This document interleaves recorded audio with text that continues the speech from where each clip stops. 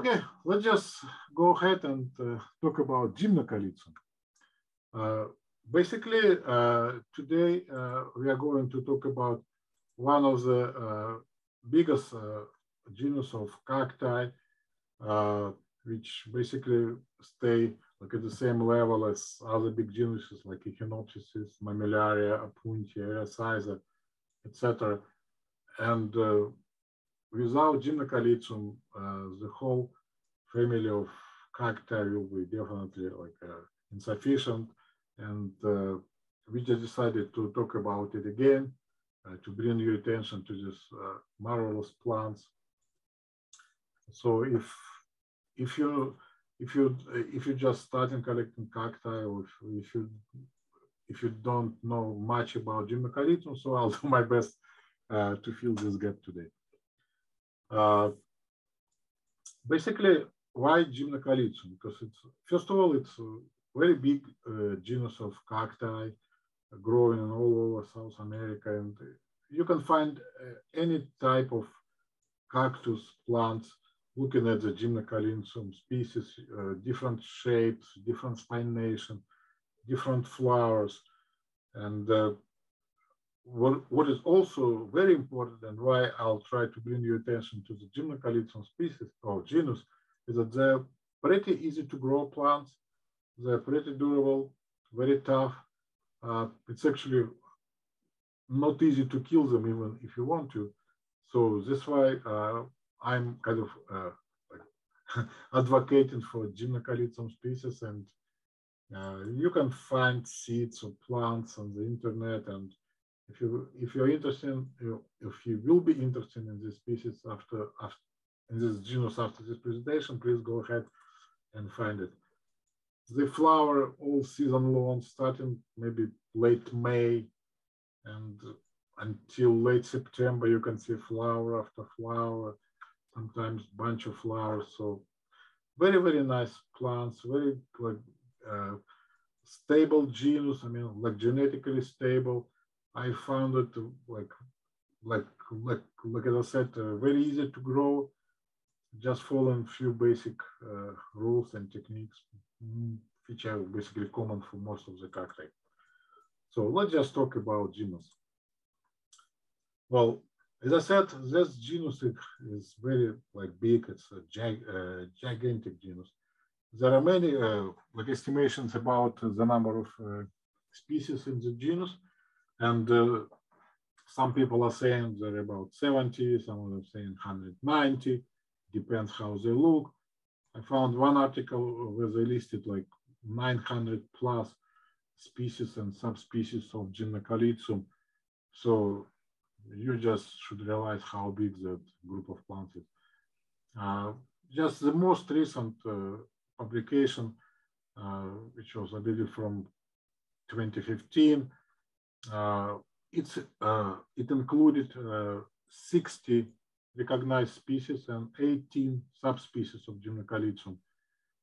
Uh, Gymnocalycium can be found in uh, almost all over South America, but uh, mainly they grow in uh, in uh, in Brazil, Peru, Bolivia, Argentina, Paraguay, and Uruguay in this area.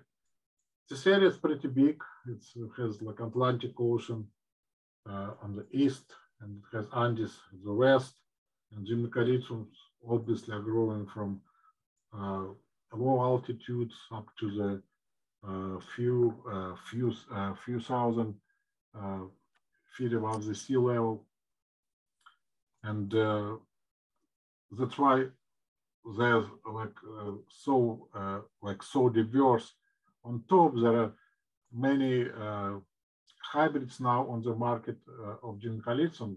One of the well-known is for sure, it's, it's uh, not a hybrid, it's a mutant of Gymnocalycium uh, which is a moon cactus. It, it, comes to every nursery in different colors, red, yellow, whatever you find it. Uh, so, like again, uh, because of the big area, the uh, it explains the diversity of the plants in the same genus. But what is very common to the genus, because this genus is, is, uh, is a flower, because uh, flower is very specific.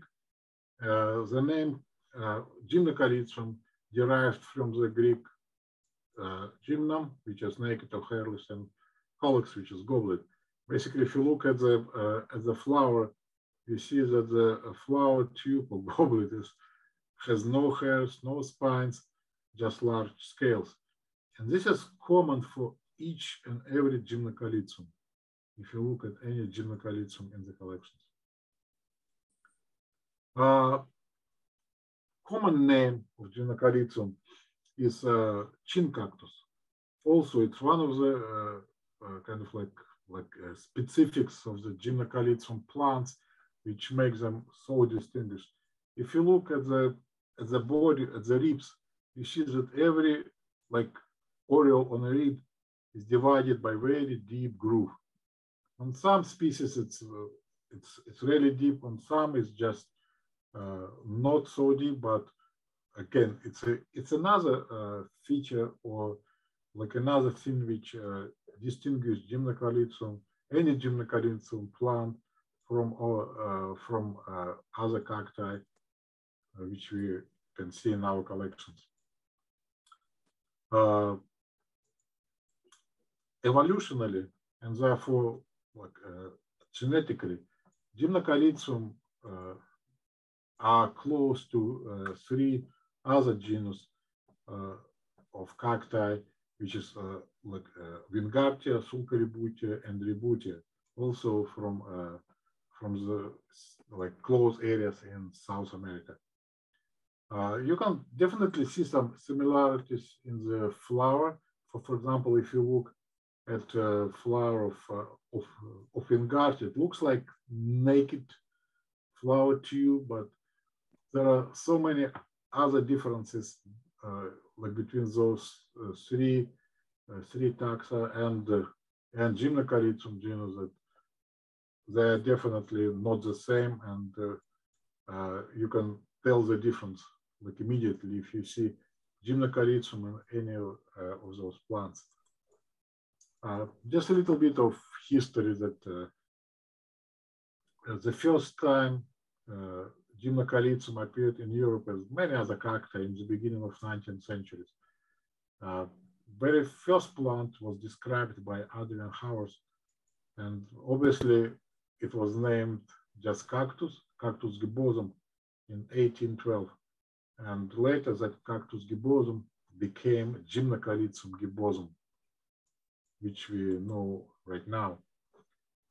Uh, the name Gymnocalycium appeared first time in 1843 and uh, in the very first uh, like catalog which listed Gymnocalycium as a genus of cacti. It was spelled slightly different if you see uh, after L there is no Y, it's I, but uh, we still keep almost like the same uh, spelling for 160 years now. Uh, so uh, in 19th centuries, most of the cactus or global um, or ball-shaped cactus were called just echinocactus. And obviously gymnocalyciums were among them. And there were uh, 12 species of gymnocalycium known as echinocactus at that time. Uh, and after that many years, uh, the name uh, of the genus Gymnocalycium wasn't recognized by botanists, and they will still keep calling it Echinocactus until 1922, when Britton and Rose uh, published their book, The Cactaceae, where they respected 23 species of Gymnocalycium as a genus, as a taxa.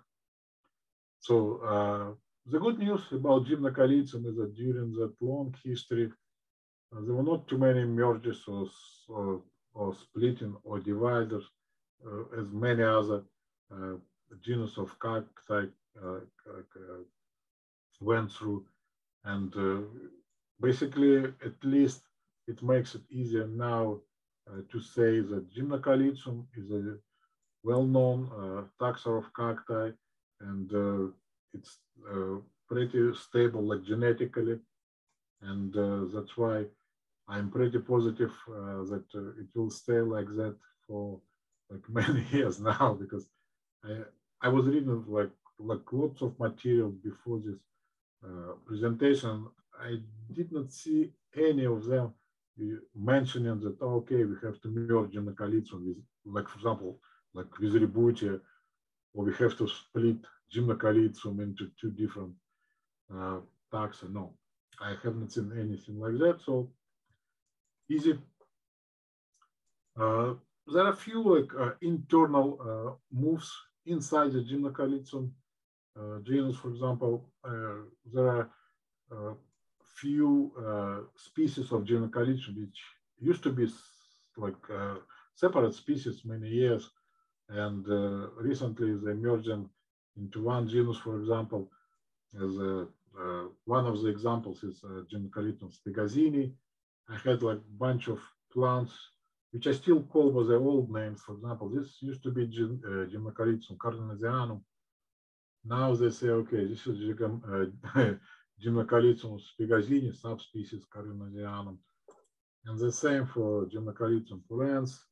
They moved it, uh, I mean, they renamed it to the subspecies of Gymnocalycium spegazzinii. Other than that, there is no too many uh, interesting things about the, uh, the taxonomy. Just to illustrate uh, uh, the number of the Gymnocalycium species and subspecies, I just found one catalog from 20 uh, from 2010, and if you just uh, look at the catalog, it has like, uh, let me, it's supposed to be a video, not sure why it's not playing. Huh, just a sec.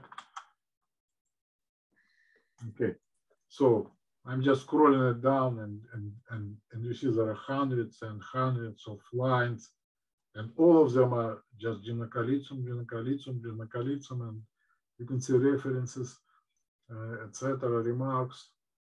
So if you really would like to be a specialist in Gymnocalycium, then you have to learn a lot about the, uh, like the species and the differences, etc. Uh, well, like despite that there are tens or maybe hundreds of species of Gymnocalycium, every genus of cacti or plants have type species. For Gymnocalycium, it's a Gymnocalycium gibbosum. Basically, it's one of the first Gymnocalycium found and described, and it still stays, it still like uh, represent uh, the genus uh, as a type species. After that, for sure, there were many other plants found uh, in, uh, in the habitat and people still keep looking for new Gymnocalycium traveling just across uh, South America regions where Gymnocalyciums are growing. Uh, I just found a few recent findings, which is from 1999 was Gymnocalycium uh,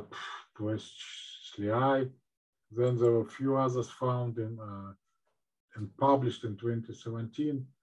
I found very nice uh, online uh, journal, which is uh, Schütziana, and they publish lots of materials. Basically, it's a Gymnocalycium journal. And every year they publish new materials about new travels, new findings, uh, the classification and taxonomy of Gymnocalycium, etc. So it's just not a, like a this is the open end, and we still might see different uh, species of Gymnocalycium coming up. I was just checking that, uh, uh, like online, if seeds of any of those plants are available, and and surprisingly, I found that almost all of them you can purchase now, uh, mostly from uh, like European uh, catalogs, but if you're interested in something new, you can just take your time, go to Google it, and you can find it, I believe. Uh, so now let's just review the like the genus kind of um, in few steps. First, the flowers. It has all variety of flowers from white to dark red, a lot of pink, no yellow though. Okay, so this is uh, why Gymnocalyciums never have yellow flowers, but uh, like, like again, all shade of pink, white are there. Uh, the dark red is a very beautiful plant. Uh, and uh, for some reason, I have three of them flowering. I could not get them cross-pollinated, but I I keep working on it. uh, the shape of the flowers also is different. You can see that, for example, Gymnocalycium saglionis has very, very short flower tube, where Gymnocalycium uh, or oregonasii has very, very long flower tube. The plant itself is almost flat. It's leveled with the soil, but it, it shoots at the tube like five, seven uh, uh, uh, centimeters up and very nice, very interesting species. Spines are also different.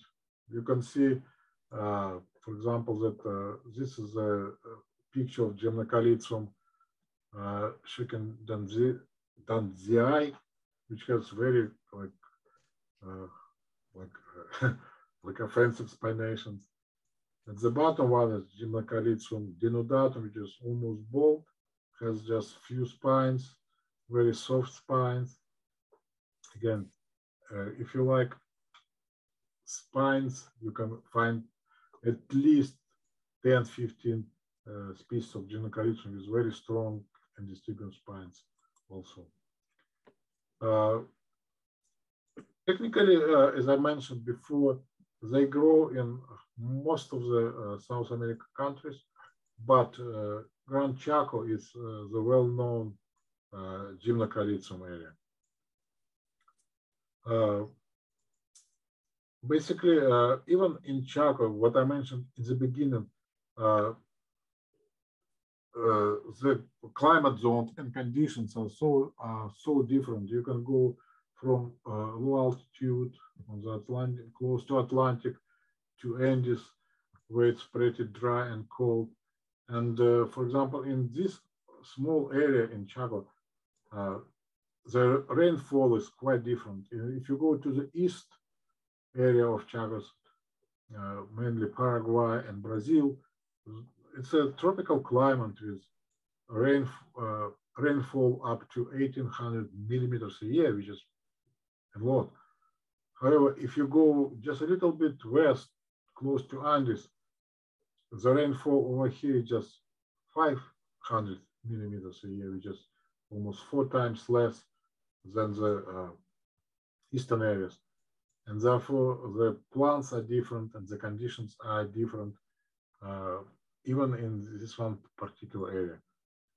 Uh, soil, uh, mainly clay, where uh, are growing.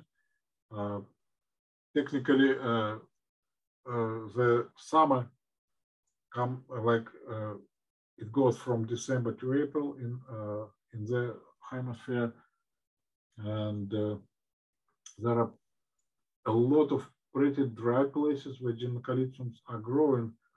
Uh, so, but mainly in the western area, just along the uh, Andes border. Uh, just just a little bit of of details about uh, the taxonomy of Gymnocalycium. I would not waste your time too much. Uh, basically, you know that uh, when you uh, look at any big genus, usually uh, you see uh, this that botanists or scientists they divide them into the subgenus, which basically kind of like represent specific group of plants like uh, within the genus. And in, in some genus, for example, in Astrophytum, they do it based on the how the fruit split or whatever. Uh, in Gymnocalycium, it's interesting. They do it uh, by the type and the shape and the size of the seed.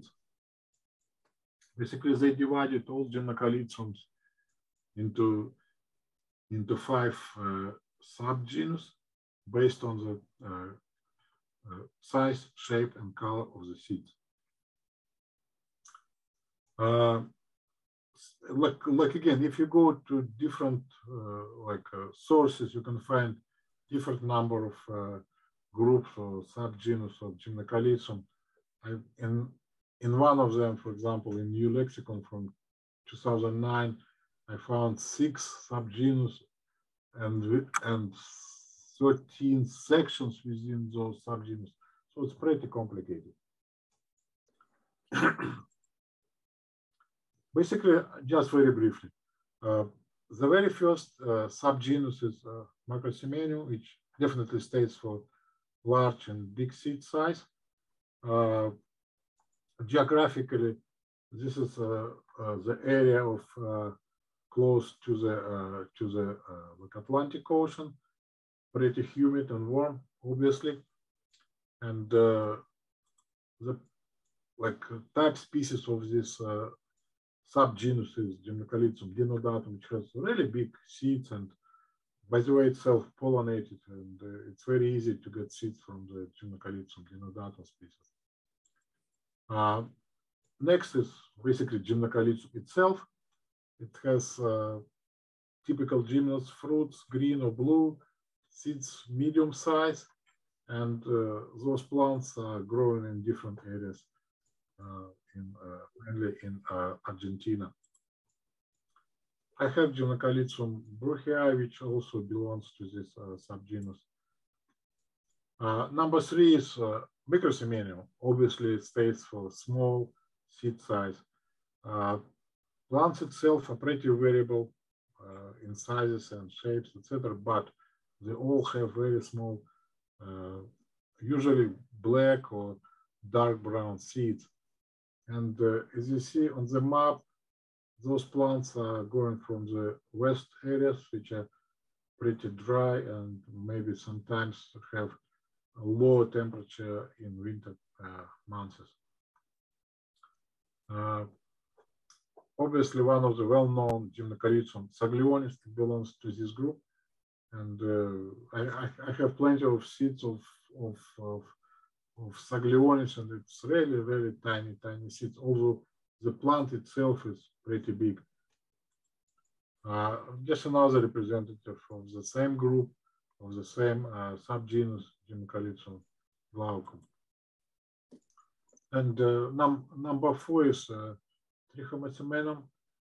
Uh, basically, it uh, represent uh, the plants uh, are with very uh, small uh, body sizes, which are basically up to 15 centimeters only, uh, and mid-sized seeds.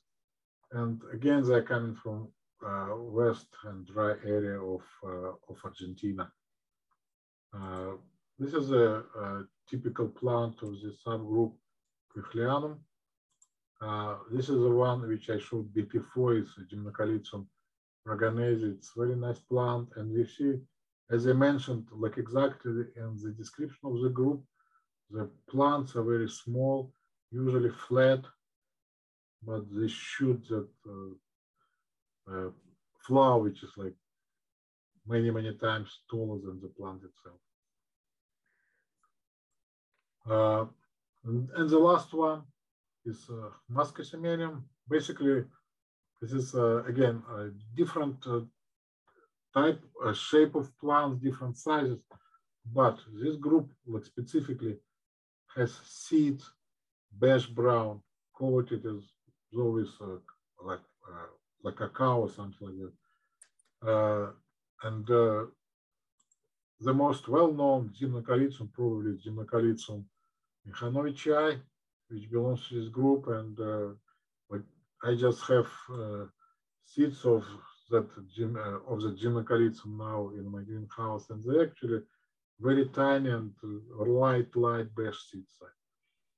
Uh, basically, uh, mutants are well known among uh.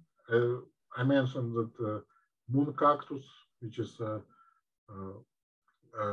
which can grow on the which can grow grafted only because it has no chlorophyll to feed the plant. But uh, there are lots of other cultivars and uh, which are like available in the market. And this is the, uh, the picture uh, of the plant I, I like I have I purchased it a few years ago. And as you can see, it, it it's so variegated, it has yellow, uh, red and green.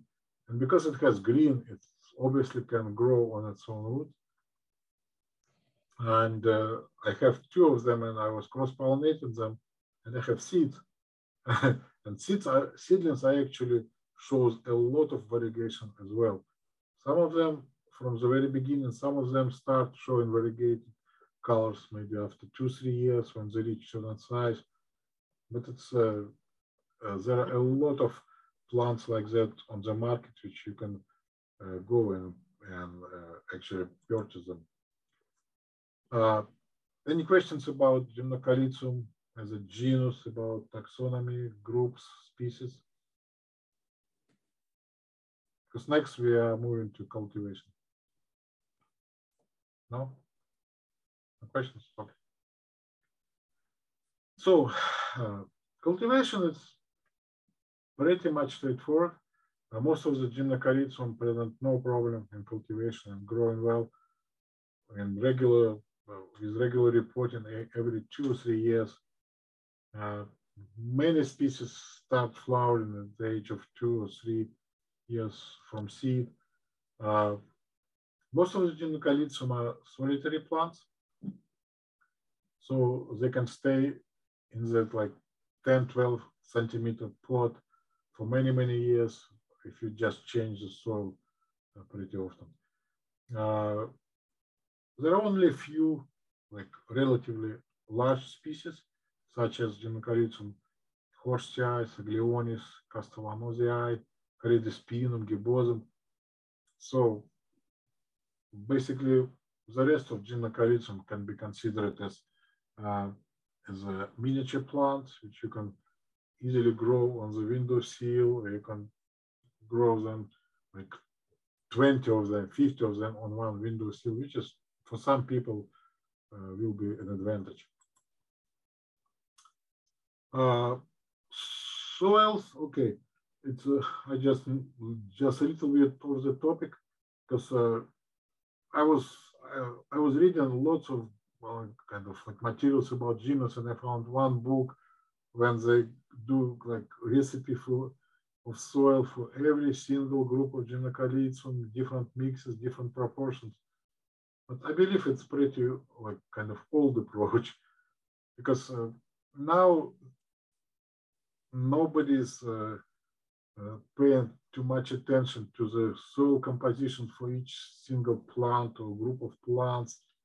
Because like in the past, it was kind of almost a science where uh, all cacti grow has bags of different components and material and they're mixing them and they're trying them and changing the mix for the next year because basically uh, soil mix was the only source of the nutrition uh, uh, for the plants.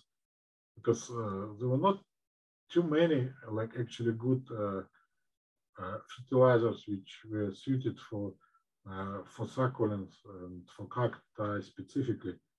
But then the situation changed. Now you can go to any nursery, to any garden store and find like lots of uh, fertilizers, like specifically for succulents or even like flower fertilizer, which are close to the uh, to the proportions of, of components which are good for succulents or for cacti. And that's why now people are moving mainly to the uh, to, to the mineral type of mixes. Uh, is one of them. People use different, like tons of other, uh, like mineral components.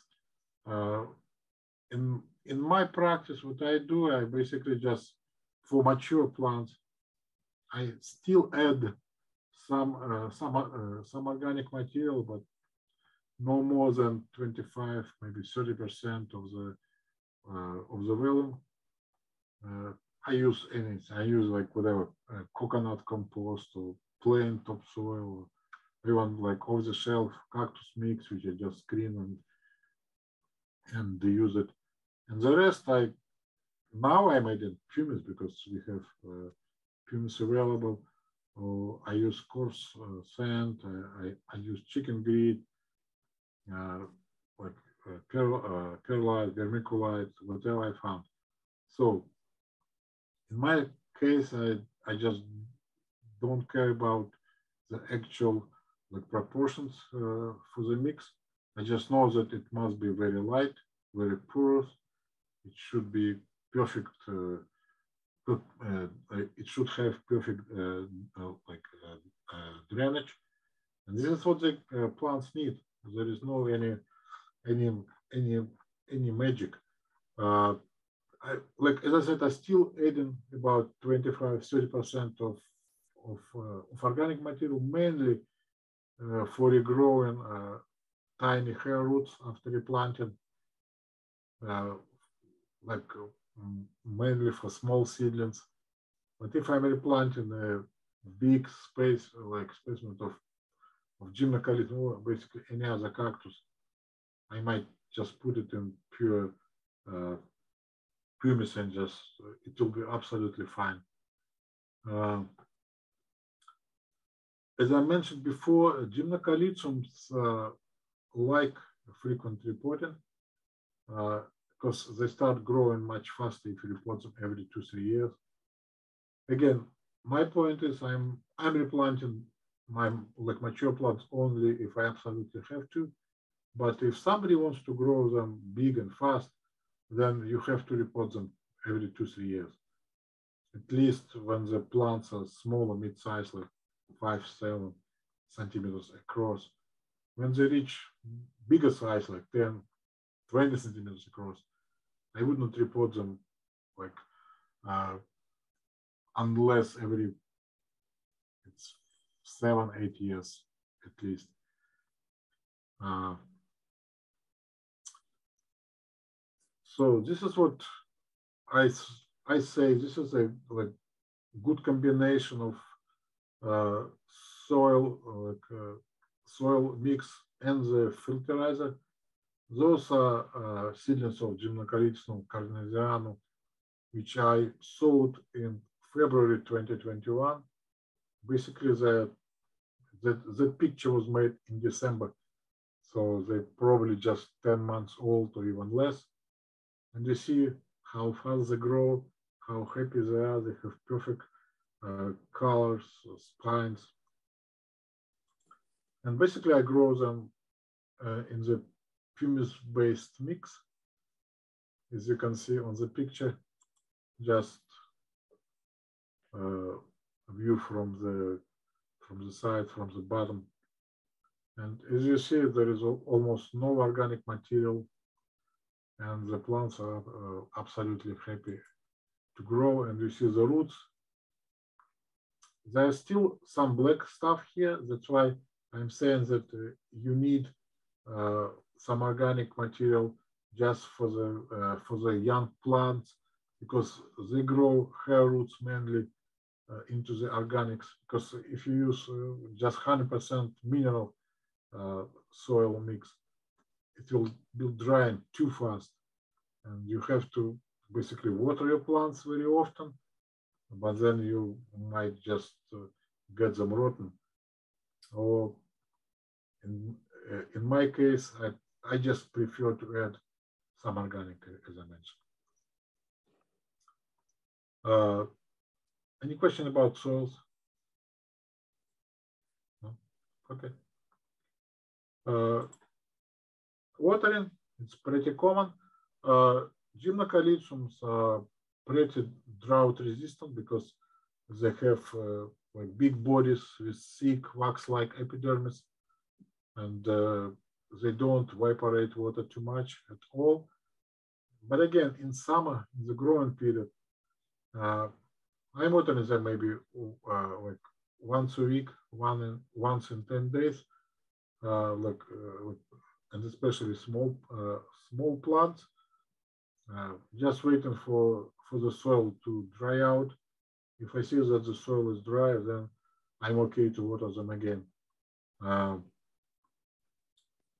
however, in the dormancy, something from like end of September to March, uh, in my case, because I'm staying in the greenhouse where it's pretty cold, like maybe now it's plus five plus seven Celsius only, and they stay there all winter.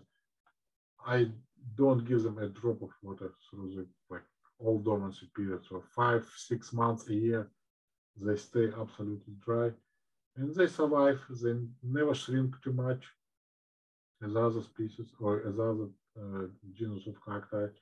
So they're pretty good and pretty durable plants. Uh, for the winter, it's kind of uh, some specifics about Gymnocalycium. As I said, some of them are uh, the origin of some of the species is uh, from very low altitude close to Atlantic Ocean. It's pretty much tropical climate. They don't see any low temperature over there. And for that group of Gymnocalycium, uh, I would say the lowest temperature might be around 10 Celsius, that's it, for the winter. For some of them, which are growing uh, close to the Andes and high altitudes, uh, definitely they have colder, uh, colder winter temperatures or, those plants, they're not hardy for sure, but they can uh, they can survive in the temperature like plus three, plus four Celsius, like without any damage to the plants. Uh, basically, uh, this is a setup of my greenhouse, pretty old one. What I was saying is that uh, basically I split my plants into certain groups and the ones which require high temperature, I put them on top shelf somewhere, or at least over here, close to the heater. The plants which uh, tolerant to low temperature, I put them, some of them just on the floor, some of them on the far away uh, from the heater, and uh, just to make sure that there is no obviously uh, like uh, temperature below freezing, but just how I do the setup for the winter.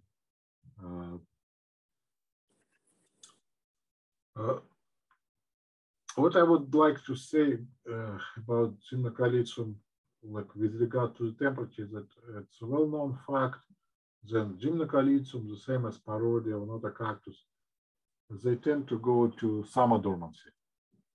Basically, uh, summer dormancy is uh, when the temperature is getting too high. For example, in my greenhouse, if I know that it will be like 45, 47 degrees Celsius, I would expect my Gymnocalycium and Parodia stop growing and in, in dormancy. So, like again, there is nothing wrong with it. If you see your plants going to dormancy in the middle of summer, just let it rest. Don't try to water them because if you if you will start just watering them to push them to grow, you will just kill the plant anyway. Because after the temperature uh, will go down somewhere in August, you see that the plants will go back to uh, to the growth. You will see new flower buds, new spines coming. Then you can start resuming watering. Uh, what you can do basically is uh, to cover uh, your balcony your, or your greenhouse, whenever you grow them, uh, with a shade cloth just to screen the sun. And uh, this way, the sun would not uh, heat too much and uh, the plants will stay uh, kind of in more lower temperatures area. And in this case, yeah, they can grow like without any any any summer any summer dormancy. This is what I do like last couple of years or three years, something like end of June or like the beginning of July. I cover all my greenhouse with a shade cloth and keep it for three, four, five weeks until I, I see at least the night temperature will go on down. Then okay, I'll I remove that cloth and uh, in August, September, plants still flowering and growing. Uh, I don't have that summer break for them. Uh, lights are pretty uh, specific for gymnast. Also, as I said, uh, from tropical areas of South America, uh, in the places they grow, they grow uh, like among grasses and shrubs. This is the kind of common place where people find gymnocalyciums. And that's why uh, they actually trying to avoid uh, direct sunlight. And this is a, key to understand when you when you grow your gymnocalycium in the greenhouse. You don't have to put them on the brightest spot, whether uh, like under the direct sunlight. They're okay to stay in a, to stay in semi-shade. They will keep flowering. They will have perfect shape, shape like body shape, even being uh, like like away from the full sun. Uh, like especially, it's very uh, like tricky situation when you bring them out of dormancy. Uh, it's very easy to get sunburns on gymnocalyciums like specifically because yeah. last last summer I have many plants of gymnocalycium with sunburns which basically I probably will not recover and I might compose them because those sunburns are just they uh, sunburns they just destroy the plants completely. Uh, propagation again two ways. One is uh, by cutting or offsets. There are many uh, species of Gymnocalycium which produce a lot of offsets like uh, this is just an example uh, of Gymnocalycium cauliflorum. If I report it, I might have like 20, 30 heads.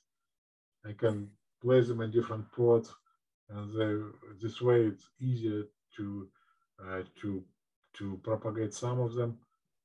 However, for most of Gymnocalycium, sowing uh, seeds is the only way to uh, to to propagate the plants. I just found that many people mentioned that Gymnocalycium seeds, they're, they're losing uh, germination very quickly. So they don't recommend to keep them for a long time, more than five years, for example. But I have some seeds, that's why I put this uh, slide on. Those are the seeds of Gymnocalycium uh, mihanovichii, which I, which I collected in 2015 in 2015 and this winter I started sowing them and they germinated uh, like crazy. They, they're okay to stay uh, and and to be stored for more than five years. I am positive about it. Uh, this is just a close up. And you see those uh, small seeds, uh, they pop up very, very small, tiny bodies of Gymnocalycium, but don't be confused. They will grow very fast. Uh, I have, I believe this is a picture of a Gymnocalycium uh, saglionis seedlings. They're just 18 months old and the seeds are so tiny and first couple of months I couldn't even see them just without the magnifying glass. And then after two, three months, they start growing like crazy They're just doubling the size, doubling the size like every few weeks. And after one year or, like uh, 18 months, you have plants which uh, looks like almost mature if you if you compare it with other uh, species, uh, with other uh, cacti. When I saw my Gymnocalycium, again, nothing specific, just uh, regular sterile soil for sowing cacti. I use just to screen it to make uh, just just to remove big fraction. I add some coarse soil or again small fractions of pumice to the soil, and I keep them in a moist place with a temperature 20, 27 Celsius, uh, and they and they grow very well as I mentioned, they don't need too much light. So any artificial kind of light, like LED or fluorescent light, will be absolutely perfect for growing gymnocalycium from seeds. If you grow them on the windowsill, don't leave them under the direct sunlight because again, you might see sunburns after a couple of hours on the on the like actual uh, sunlight. Uh, next, uh, I'm just going to uh, to show a kind of uh, like a collection of plants from my greenhouse. Uh, first is very nice, very beautiful Gymnocalycium, which is a Laureanum. Nice plant, very flat, bluish body and very beautiful plant. I love it. Another one is uh, Again, plant itself is very big. It's about maybe whew, six, seven inches in diameter now. But what I like about that plant is the color of the flower. So beautiful. This is Gladsum, flowers like five, six, seven, ten flowers in a day. It's like a bush, flowering bush. Uh, just another picture of the same plant. And it flowers like that all summer, all summer. Like maybe one week break, another bunch of flowers. Another one, two weeks, another bunch of flowers. So beautiful, very nice plant. I love them. This is the Horridispinum, very uh, cute, very uh, large, light pink flowers. Oh, again, this is very famous uh, Mihanovichii. And this is just another picture of Mihanovichii flowers. Uh, some of them have almost white flowers. I have a bunch of them growing. Some of them has pretty, have pretty uh, like dark pink flowers, which uh, which I like more.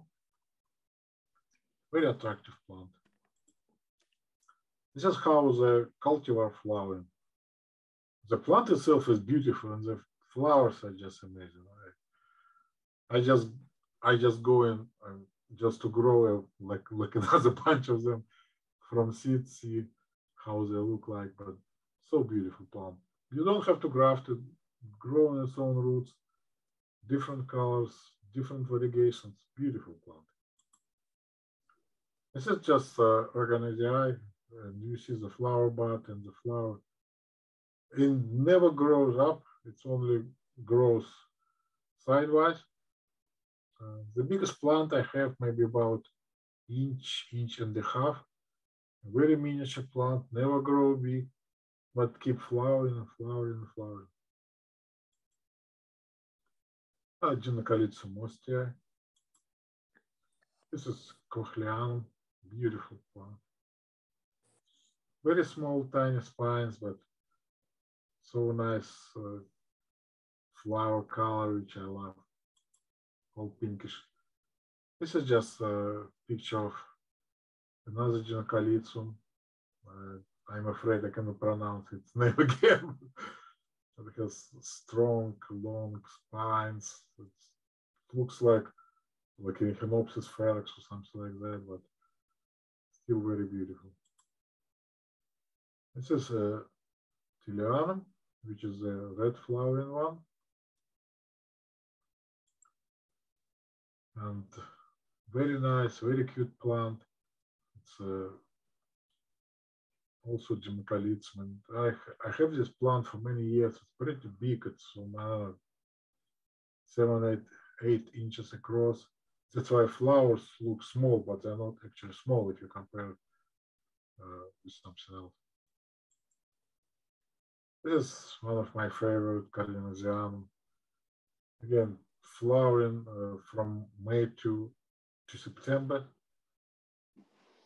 Flowers are quite different, depends on the uh, spacement. I have them, one of them is almost white, another one much, much darker flowers.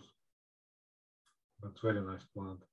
This is my favorite actually plant and I have grown them from seeds now because I'd like to like to see the whole variety of spines because some of them will be will have absolutely dark brown or maybe even black spines. Some of them like this have very light yellow spines and the body can be just just green green it could be dark green or it could be very almost blue body like very beautiful very beautiful i love them okay and that is it about gymnocalyciums